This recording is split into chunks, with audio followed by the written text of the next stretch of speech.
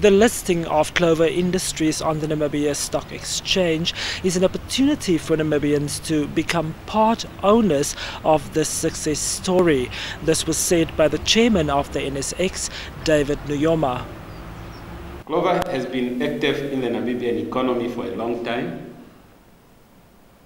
But by listing on the NSX, Namibian investors can also partake in the shareholding of the company. It is indeed an opportunity for Namibians to own part of Southern Africa through this opportunity. That there's an opportunity that we can offer the local food industry, which is all what's all about sustainability, that we can offer expertise um, in this in this uh, country. Uh, but then we've got to illustrate to the, to, the, to the country that we're serious about being invested here. So we're opening up this opportunity with this listing, which we're very proud of. Um, we will, we will in, start to investigate immediately other areas of opportunities over and above having our products here. We will see uh, what we can do in terms of the farming community, what we can do in terms of plants, what we can do in, in, in, in packaging, in, in co-packing. So we're very excited uh, to be uh, today in such an organized and such a uh, uh, uh, controlled long-term way.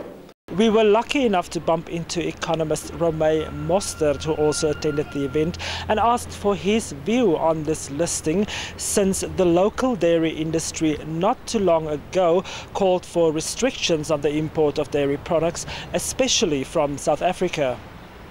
I think basically this Clover listing is maybe in some way a response to what has happened in the past. And it basically shows that Clover has a commitment towards Namibia, a commitment of furthering their relationship with stakeholders, uh, maybe further investment into the economy. So I think it's maybe a first step to, to just get that extra commitment to the country and take it from there in their new business relations. When you look at the local dairy industry, I don't know. I think they might see it as a threat actually, and maybe Clover cementing their roots in here in, in Namibia, and it will be an, it will definitely be a threat to, to the local dairy industry. I think from other industries like the financial markets, from um, from an investor asset management perspective, it's actually a big plus, and I think it's going to be an added advantage. So from various angles, I think it's got different implications.